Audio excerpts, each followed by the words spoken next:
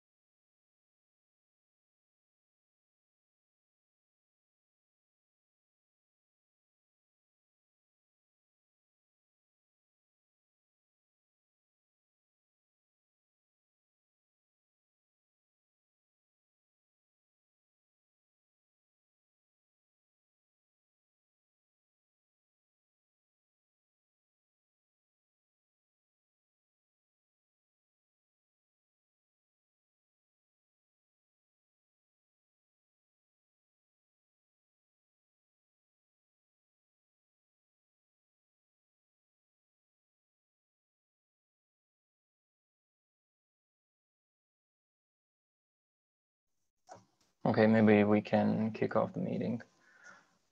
Uh, can you see my screen? Yeah, sure. Okay, cool. So, uh, let's, uh, so this is the uh, Aries VCX community call, uh, 15th of June, 2023. Uh, Patrick is away, so I'll uh, try and do my best to fill in his shoes. Um, we have our antitrust policy notice here. Let's let that in on screen for a minute.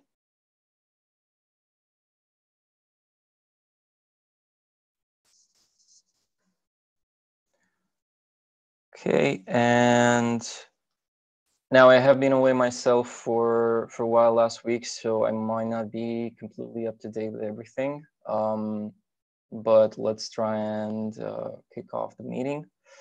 So probably the um, hottest news, so to say, would be the kickoff of the mentorship program. Um, we have our two mentees for the uh, the mobile wrapper and the um, uh, VCX mediator. Um, and those would be Swapnil and Nyan respectively. Um, the, the program just started, so um, they're, they're still getting up to, up to speed um, and in, just introduced into the project as far as I know.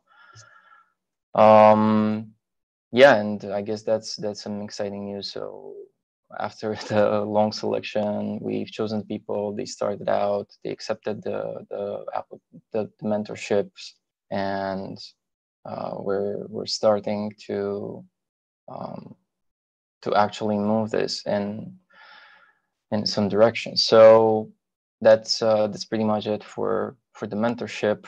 Uh, really glad to have these people uh, on board. Um, and we can have a look at the recent work done. Um, so there are a couple of PRs uh, that have been recently merged. Uh, the first one, which um, extends the, the profile trait a bit um, by, by Patrick. Um, I know Mira, so I was away when this was done and I'm not up to date with all the details, but if you have some, maybe you know more about why this method was was required, if you would like to provide some more info. Well, I'm not, I'm not too sure myself. I mean, I originally uh, tried to uh, get rid of uh, the reliance on the global state uh, from which was to store the transaction author agreement to store and mm-hmm. set it.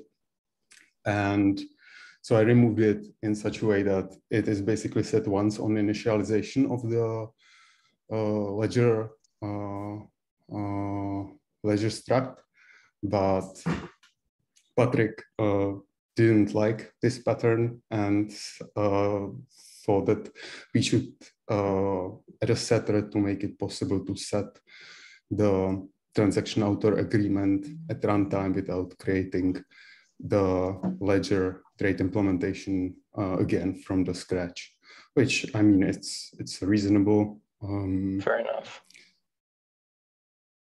Okay, I see. Okay, cool, cool. Thank you. Yes, yeah, so that's been merged. Um, down the line, I guess our plan is still the same to kind of get rid of this profile thing. And um, there is also some some other work that is gonna facilitate this. Um, again, done by by Patrick. Um, basically, not passing around the profile through all these places and tests and wherever it was being used, but rather try to use the the minimal um, or the, the more specific components of it that are actually required so this is definitely going to facilitate getting rid of the profile as a construct and just passing around wallets or AnonCreds implementations or ledger uh, trait implementers wherever we need them. Um, so this was also um, it's it's quite a big PR, and this was merged this week. Um, but the it's fairly simple overall. So it was just, I guess, a lot of tedious work, but Patrick pulled through and essentially repro- replace the, the profile getting passed around with just specific parts of it that are needed. So tedious, Patrick said it, he found it relaxing. yeah, fair enough. Cool. It's even better. Okay. Um, now, this is also something I'm not entirely familiar with. I think this was something by George, uh, some sort of fix. Um, something done to basically be in sync with the ACA-Py capabilities. Um, I see there's an issue here. So let's see.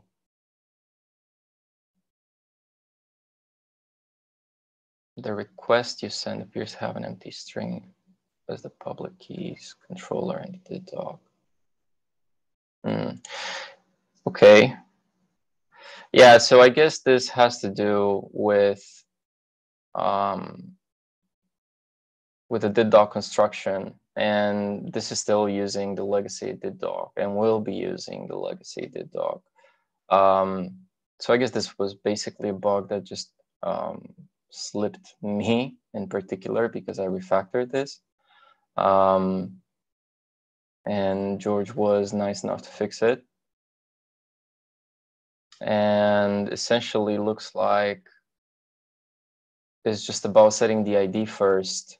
Apparently that's being used in some other places. Um, fair enough. Well, some side effect probably in in all of yeah. these.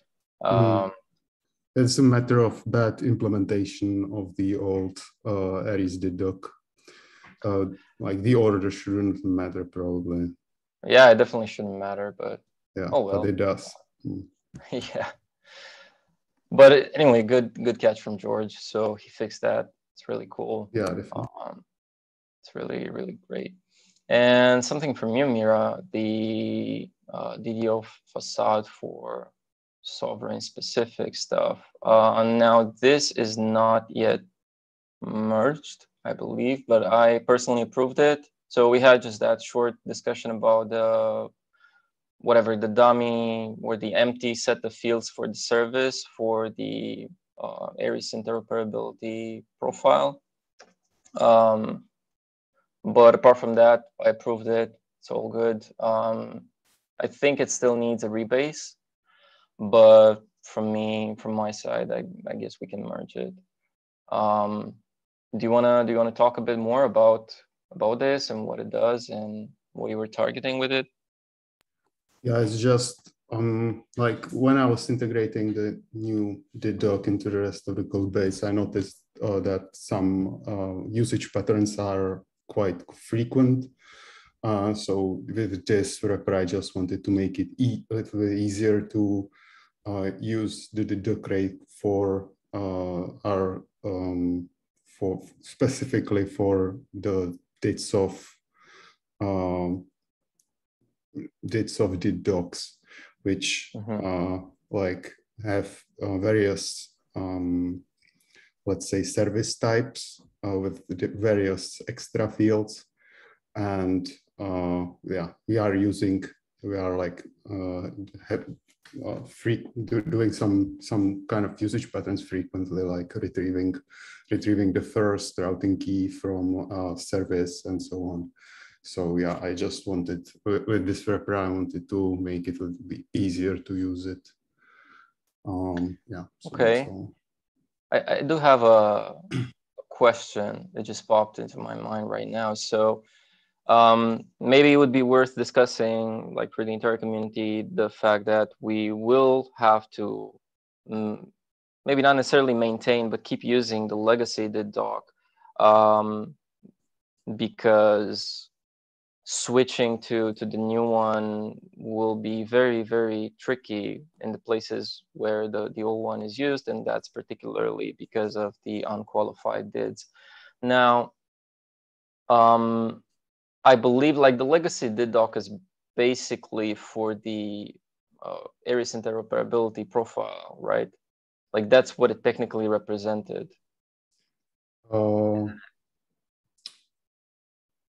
well, the legacy DidDoc technically represented uh, like unfinished version of the DidDoc or DIDs of spec, uh, which changed since then, but hmm. still mm. like many frameworks use it. So for example, the public key field in the legacy DidDoc does not exist in the new DidDoc and there are like multiple, multiple some fields are uh, not required in the legacy DidDoc whereas they are required in the new one and a few minor incompatibilities like this between between the like W3C compliant DidDoc and the legacy DidDoc that we are using in connection right now and in uh, invitations and so on.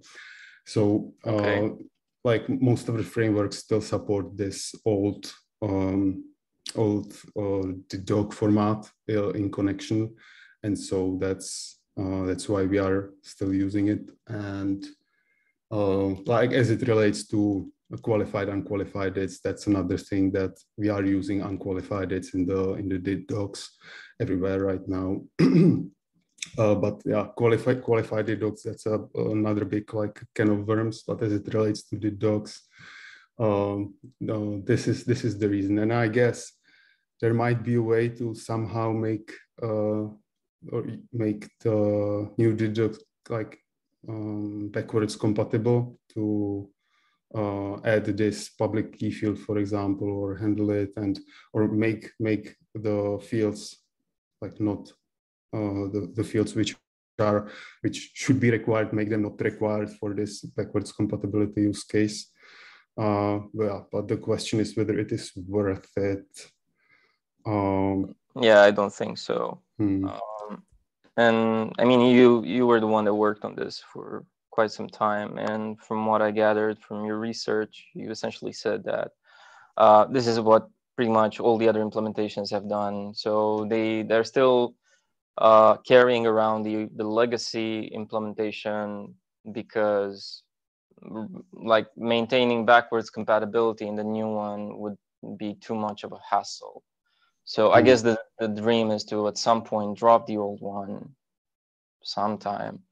Um, and then just keep using the new one with the new new format. But with the differences between them and especially differences in terms of required fields and stuff like that, that would just make it very, very weird.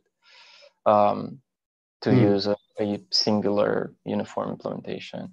But one thing that I like yeah. have not tested is whether um, whether if we uh, like send, for example, connection request with the new format in the new format, whether AFJ or ACA-Py accepts accepts uh, this new format, because it's quite possible that it that it does, and um, mm.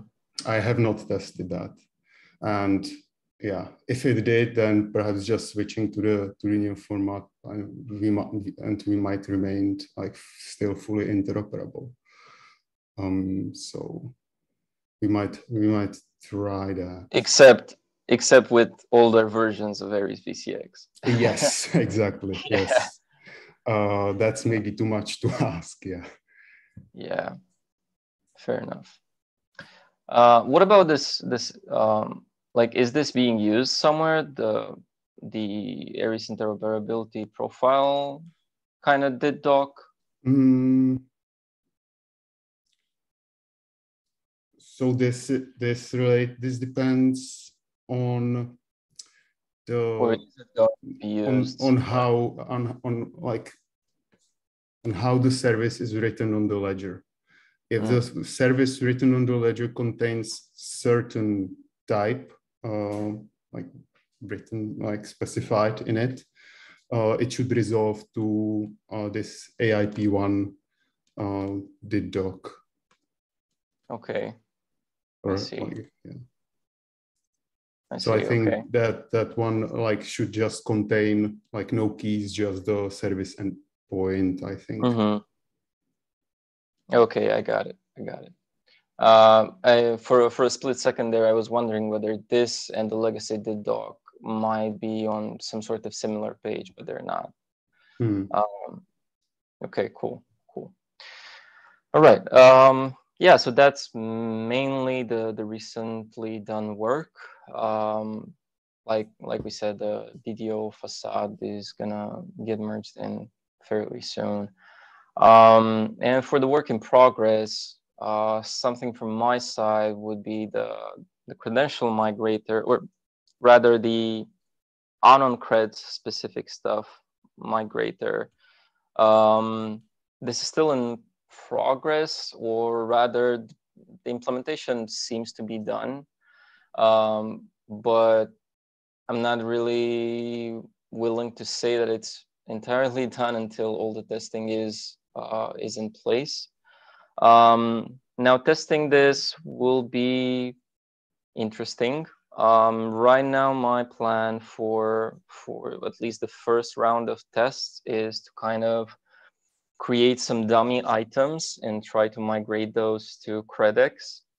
um, and then ensure that the types get deserialized correctly to the newer, uh, or the data gets deserialized correctly to the CredX types.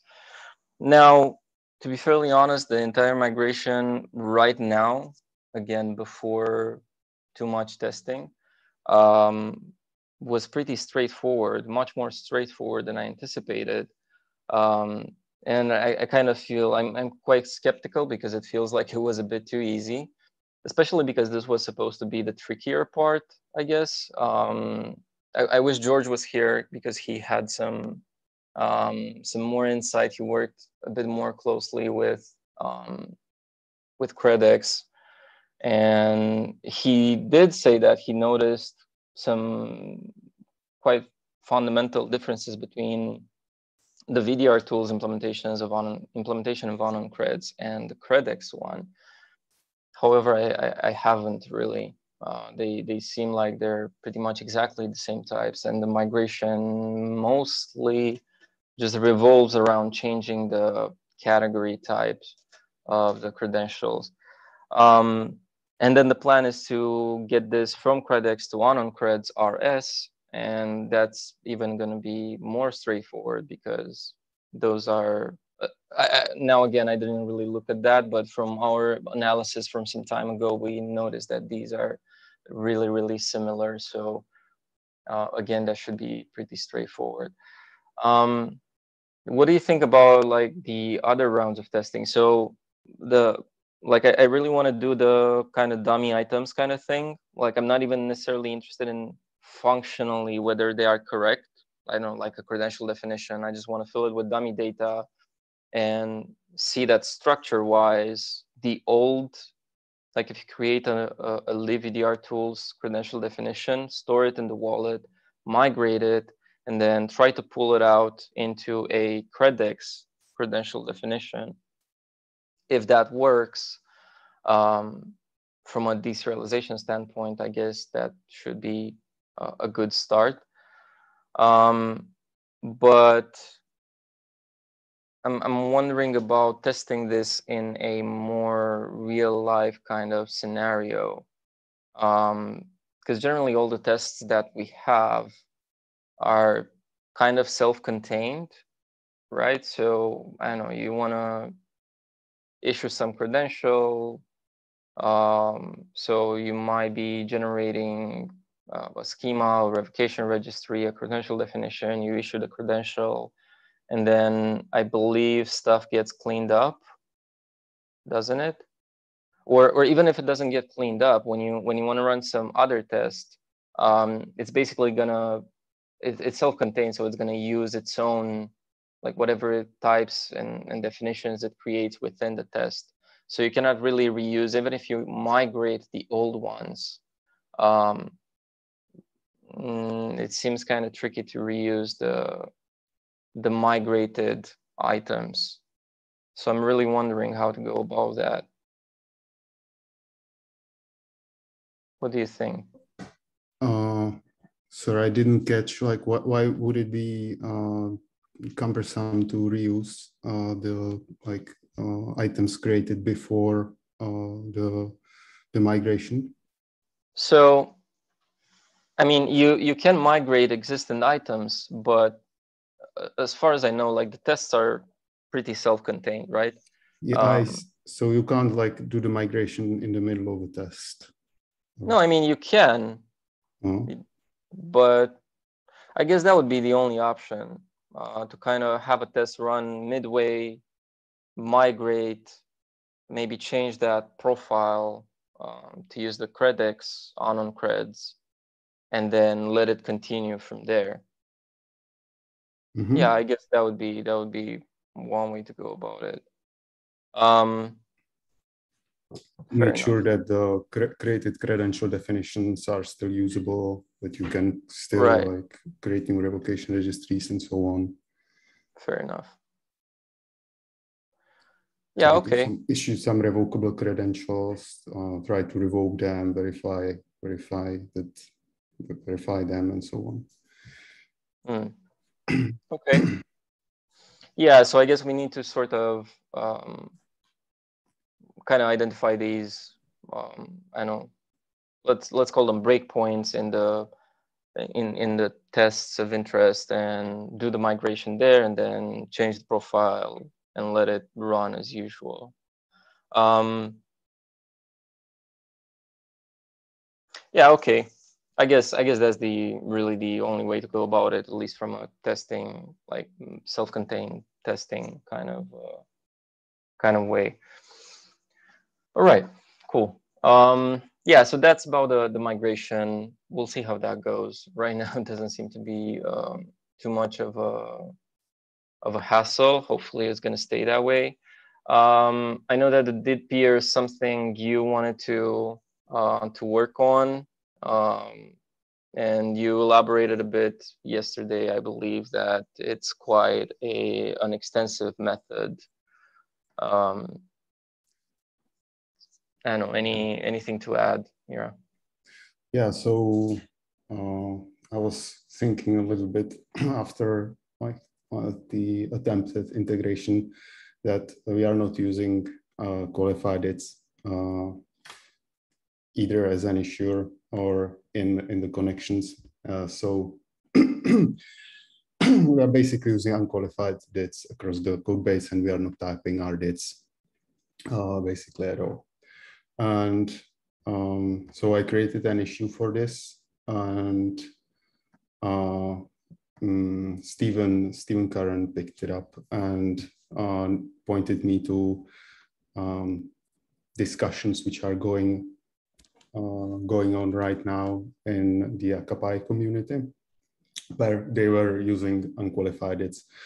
Uh, I mean, let's back up a little bit. Uh, there are like multiple parts to this. So we are uh, you you can qualify DIDs when uh, you are talking about uh, issuer DIDs. Uh, so that's uh, like when when Uh, in Aries VCX term you create uh, issuer configuration, you can either create uh, qualified or unqualified DID there.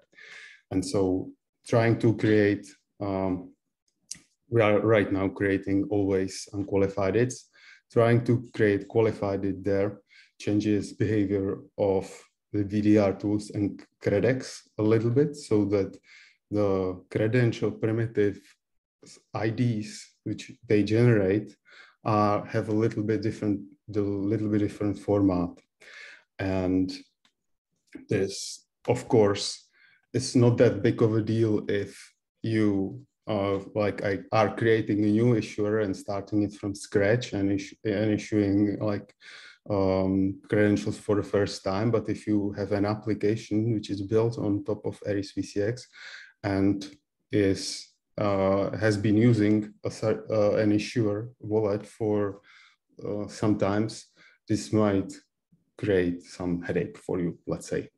Mm-hmm. it might be difficult to, uh, might be um, difficult but possible to somehow migrate your wallet locally, but still there are these IDs uh, which are on the ledger which are already written.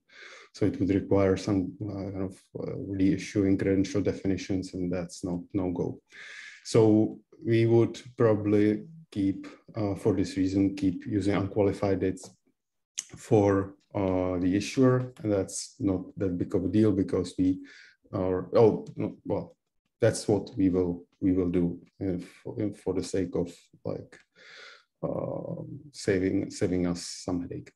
And then uh, there is the matter of uh, DIDs which are sent in, for example, uh, connection invitations or connection requests. And uh, there we are also using unqualified DIDs. And that's what uh, Stephen like was talking about when he was pointing me to the DID peer uh, specification and discussions in ACA-Py. And uh, ACA-Py basically uh, decided to, uh, to transition directly to did:peer uh, numalgo 2, which is a specific kind of did:peer. And uh, also did:peer 3, which is a little bit um, uh, newer uh, in terms of when it was added to the specification, but uh, that's what they are planning to prefer and default to uh, going forward, default to in the DID exchange protocol. And they were also talking about remaining backwards compatible. Although mm -hmm. uh, I have been on the community or seen the community call recording, and there are voices in the community which are saying, which are kind of speaking against this backwards compatibility.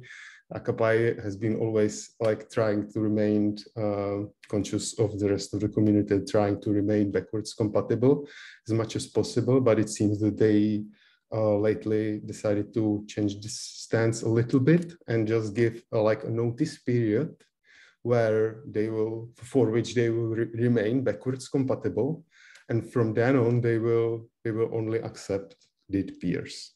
Uh, so from that's what I gathered from the community call. Uh, so uh-huh. this means for us definitely that if we are going to implement any protocol, it should use DID peer two and three. Uh, AFJ supports it already. They are a little bit of a pioneer in this regard.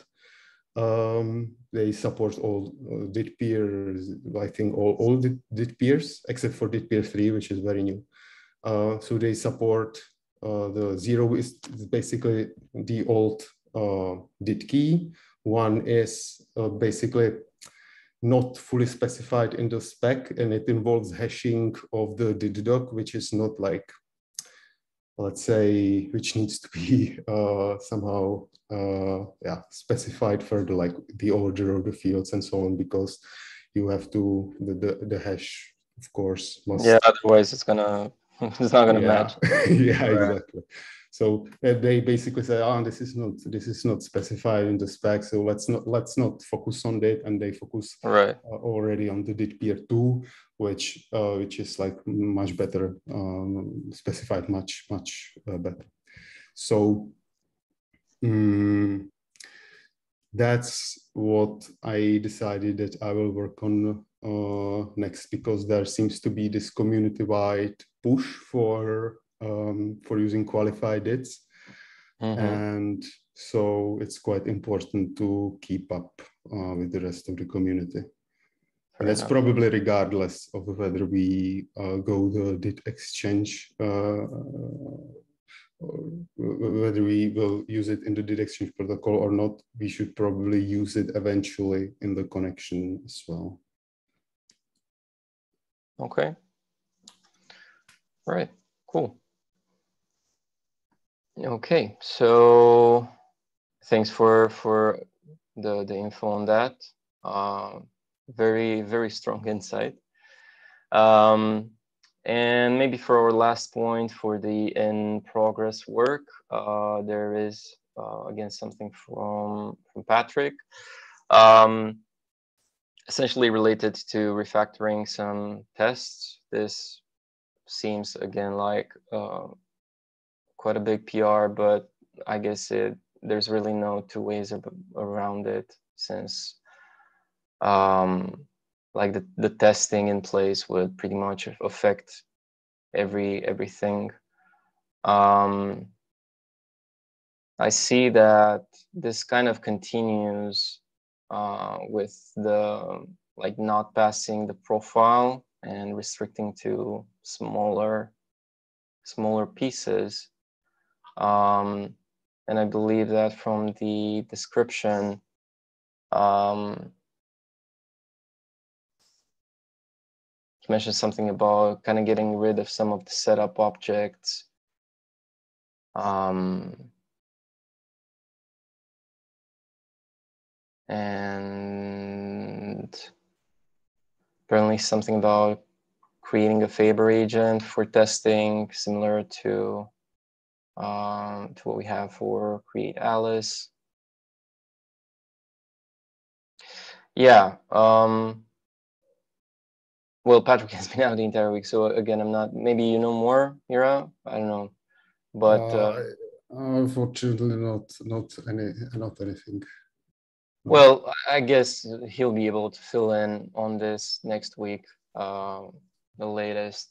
So but yeah, there's definitely a lot of work that we have to do on testing, and especially with the upcoming efforts on like even just AnonCreds, the state machines, um, and yeah, like all these things start to intertwine which ultimately i guess it's not necessarily about them being intertwined but rather we we started working on some lower level blocks and because they are lower level they kind of affect everything on top of them right? So um, that's why things get a bit bigger now but in the end i, I believe it's going to be worth it.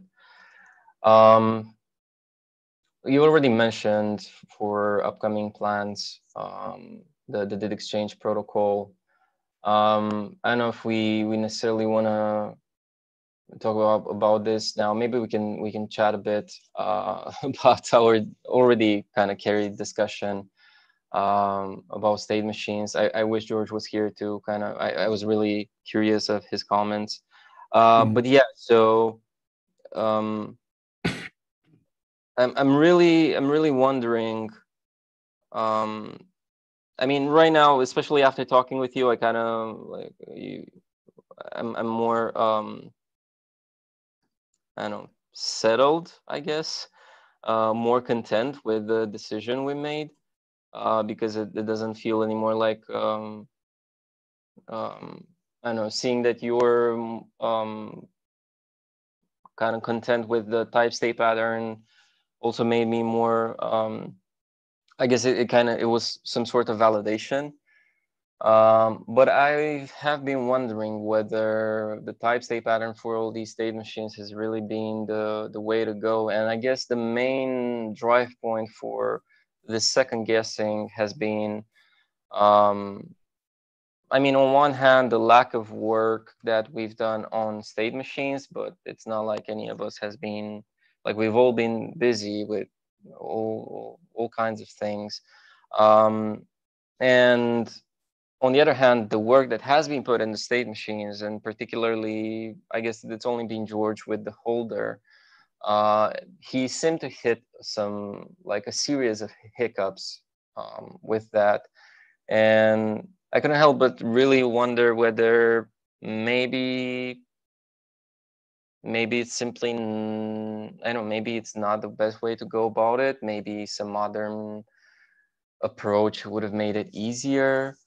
Um, and right now I'm really just reiterating what we already discussed. But so I, like the, the type state pattern kind of makes it um, safer and more straightforward in terms of how these transitions go.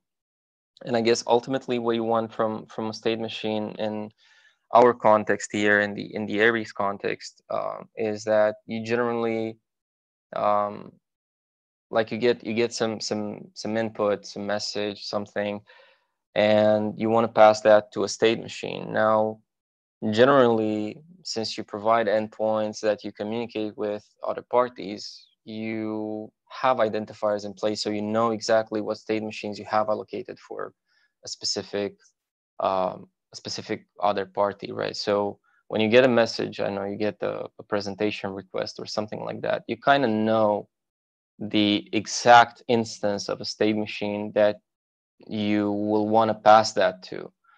Now, um, the the general outcomes are that if the state machine is in the right state, then it's you're going to continue and try to process the message. And if there's no error, then you're going to get you're going to transition to a new state. But if it's not in the right state, then that you basically consider the the message or the input as invalid because you were unexpected or have, however you want to call it.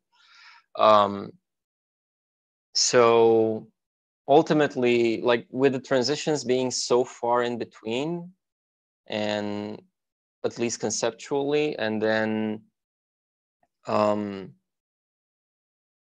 like this this kind of separation of you get you get some input. If it's right you transition or you try to transition. If it's not then tough luck. I guess that that doesn't make it like i don't know. I guess that the type state pattern really I know fits because of that. Um, but then it, it boils down to having different types for these states or these yeah the, the states of the state machine um, kind of makes the need for for these wrappers like we have for the connection and the generic connection wrapper which is an enum that encapsulates all the possible states. Um, and it that that's what kind of makes it feel a bit redundant. Like if you ever have to work with a state machine without knowing its state you cannot really just do that with um, with the, the different types that a state machine can have because you don't really know the type or you don't necessarily care about the type. So that's why this wrapper is there to basically try it, it can deserialize from any of these states and it has some common stuff that you can call in it. Um, I'm, I'm just wondering now whether these common operations are, are a common practice. Like I know we have some stuff in libvcx. You also pointed out we have some stuff in the, the Rust agent implementation, which pretty much just runs uh, in memory. Um, and the gen like the generic connection enum was pretty much mm, where essentially I made it to kind of fit these purposes that we had then. Um, and it's probably gonna still stay around to again fill in these gaps. Um, but I'm wondering whether do we want to like from from a user if you're if you're a consumer of Aries VCX, do you want to use um, some sort of one size fits all state machine like the the generic wrapper and just call stuff on it and handle it? Or do you want to have these individual types you know exactly what type you should be in based on the input you receive? If you're not in you don't get the right type because deserialization fails then um, then again tough luck invalid input or unexpected input or something like that. Because essentially like the benefit of the state of the the, the type state pattern is you're not going to get into an invalid state. You if the state machine is not in the expected state it's because it never got to be there i guess. Um, and maybe another point to consider um, like we do in libvcx we have some um, some object caching. So, or even in the in the Rust agent, because it all runs in memory. Because generally you want to have some sort of persistent storage because uh, message sending in Aries is not necessarily time constrained, at least not generally. So you can receive a message today, transition, receive another message tomorrow, um, and in a in a proof presentation. So it might they might span across longer periods of time. So you want to have some sort of persistent storage generally and store data there, retrieve the state machine, try to transition, put it back, stuff like that. But there's also the question of caching, um, especially in memory. And um, generally that helps with not having to look up your persistent storage every single time, especially if operations happen quickly which by all means they generally do and probably will. Um, but having a cache like that generally means that you might have to um, to have a, a wrapper like a one size fits all kind of wrapper for the state machines or have some sort of smarter cache that stores all these individual types and separately and then is able to look them up um, somehow, which also can be done. But I'm I'm just brainstorming right now. I'm I, am i am wondering um, what you think about all this, and I'm really wondering what the others think about all this. But yeah. there's just us now, so yeah so like as i said i uh, don't have much experience with uh, interacting or using the new type state connection but uh, for what it's worth uh, i mean the usage pattern that you talked about um, where like you get get some input and based on the input you usually usually know or what state mm-hmm. you should expect it for that makes a quite good argument for the type state pattern, I think, mm-hmm. and I think that you actually said it yourself. So, um, so that's that's that's an argument for. And then uh, you were talking about the uh, generic connection rep, uh, enum. Mm-hmm. Um, that uh, you are basically saying that it is redundant, uh, but I don't uh, like we do use it, applies this, we use it in libvcx, we use it in the uh, Rust agent. And like uh, you said it yourself that there are there are some situations where you don't know what uh, the types uh, you should expect. For these situations, it's maybe useful to have to give the users the option to use uh, something like the generic connection. So I don't like see an issue with having it in in Aries VCX uh, necessarily.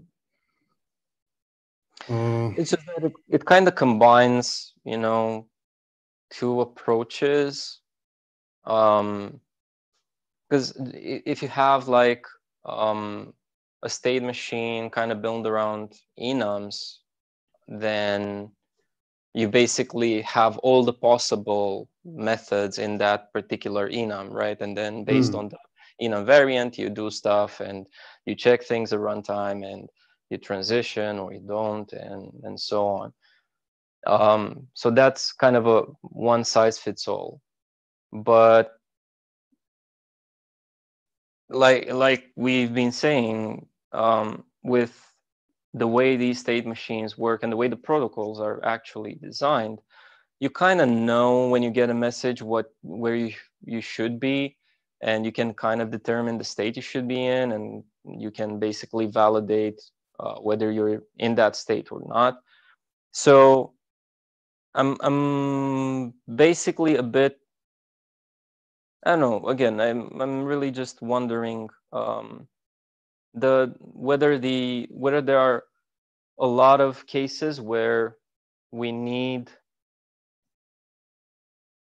or whether there are a lot of cases where we want to work with a state machine without knowing its state, like we have in, um, I believe there is some some stuff in uh, in libvcx where I don't know you might you might want to try to get a did doc from the other party, but that obviously depends on where exactly you are in the connection mm. protocol.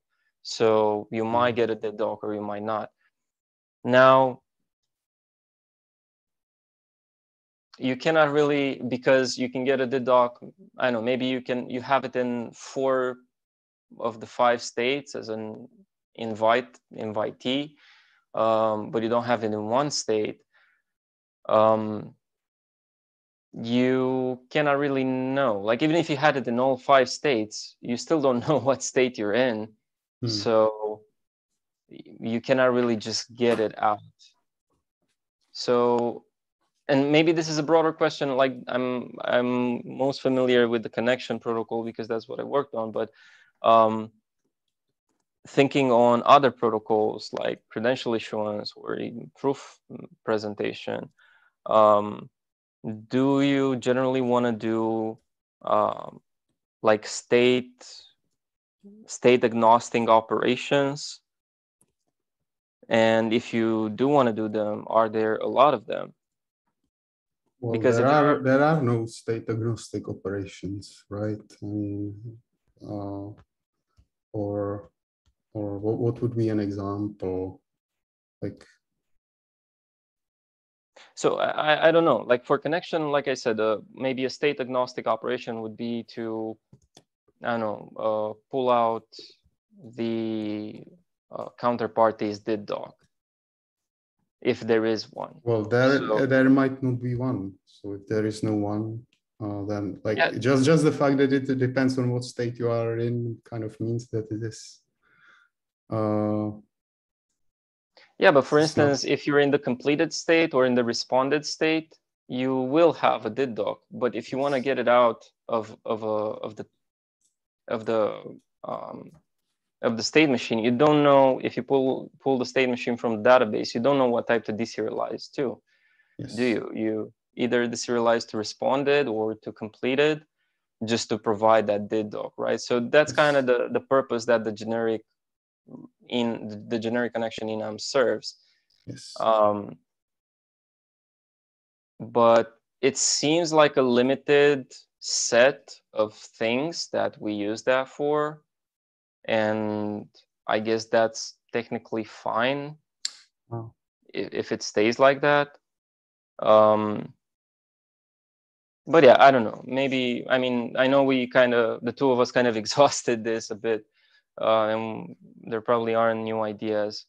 Uh, but I'm basically just I wanted to mention this on the call on the recording. Maybe Patrick or George will listen in, or maybe some other people, and just kind of be uh, know, for just mention it for posterity. But maybe it would be hmm. worth mm. discussing this some more with with the other guys. Yeah, definitely. Okay. Um, all right. So we we talked a bit about this. You did talk uh, about the, the qualified dids as well. Um, now, I believe the decision about qualified dids maybe not decision, but the idea in the connection protocol is to kind of not use qualified dids, keep using unqualified dids, keep using the legacy did doc, right? Mm, yeah. And use qualified dids from now on. Um, there is the uh, CLI demo, demo from George that's in progress. Um, and it's basically, I believe, similar to um, existing examples. I'm, I'm a bit familiar with the ACA-Py one, didn't know there's one in AFJ. Um, but I guess it's pretty much just for kind of showcasing the the roles of agents and Aries through a CLI uh, app in Rust. It's pretty cool. Um, I mean, this actually this is just an issue. it's not a PR. Yeah. So, but I guess it's a it's a it's a good idea. Um, I know if George wants to pick this up, he seems to have put a lot of details into into the, the issue. So um, it, it, doesn't sound far fetched that he might uh, he might start working on this. But um, and there's also the test harness update, which I guess it's kind of overdue. Um, yeah, I think is there... George mentioned mentioned on the last community call that he would like to uh, start working on on the update a little bit. So I mm. don't know if he did start it or whether he did some investigation at least, or it's a, it's okay. a pity we don't have him for for an update. Okay, cool. Um, and for the upcoming priorities, um, essentially what we've been discussing so far. So kind of splitting the uh, the ledger, not the ledger primitives, but the, the Aries primitives, um, having separate parts for ledger, AnonCreds, and wallet. Now, the AnonCreds part depends on the migration and then the AnonCreds RS implementation. I know you've done a lot of work on the on the ledger part, um, also splitting the trait into multiple ones. I don't know exactly if we have any plans for some sort of volume migration for Askar, but um, like it's pointed out here, it does kind of rely on the AnonCreds RS um, thing to be done because I guess it, it kind of defeats the purpose otherwise. Well, maybe they're not that related. I guess you could technically use any wallet, but um, ultimately, if we want to migrate to the newer stuff, we should do it iteratively, I guess. Um, we, I guess we again talked about splitting AnonCreds RS. I know that this has been brought up on, on a number of calls before, kind of splitting the trait into role specific stuff to again provide small bits and pieces wherever they are needed. And type state pattern is, uh, uh, I guess, an ongoing discussion. Again, it's not it's definitely not a bad thing but and i'm i'm also surprised that i'm kind of second guessing this but um like i like i told you in in chat if if by any means we realize at some point that you know what we took the wrong approach let's switch then i'd rather have it now uh, like the sooner the better kind of thing i don't know yeah makes makes sense yeah, uh, maybe talk about this a bit. So I've seen that this is basically just, um, I don't know, some vulnerabilities being pulled on Discord, I believe, uh, by some bots and the test harness for one. Yeah, I guess this was, uh, we should get partially or entirely fixed. From what I've seen, like the, the failures brought up were like the Ouroboros crate, which was not a, actually used. And you mentioned something about a cargo lock file being pushed that was not necessarily representing reality. So maybe that's what it mm. looked for. Um, and what uh, the critical vulner- vulnerability is the in the failure crate, which we actually do use. It's used in uh, VDR tools. So yeah. Uh, it shouldn't be anymore, actually. At least not soon soon enough. Yeah. Um, essentially, part of the the credential migration thing because it it I, I had to kind of tweak the VDR tools to kind of accommodate everything. Mm-hmm. And I also modified some of the error handling in there to kind of not depend on failure. Mm. Um, yeah, and to also kind of reuse the the errors from Indy because from from VDR tools because we kind of depend on them for the conversion, right? So um, at least the, the wallet errors because that's what we're interested in. And when the migration is done, the plan is to kind of drop a lot of VDR tools content and pretty mm-hmm. much just um, just kind of keep the wallet part, but drop mm-hmm. everything else. Um, so if not implicitly, if we don't get rid of this implicitly, then I can put in some work and getting rid of it, no problem. Uh, but I think it should we should be able to get rid of it. Um,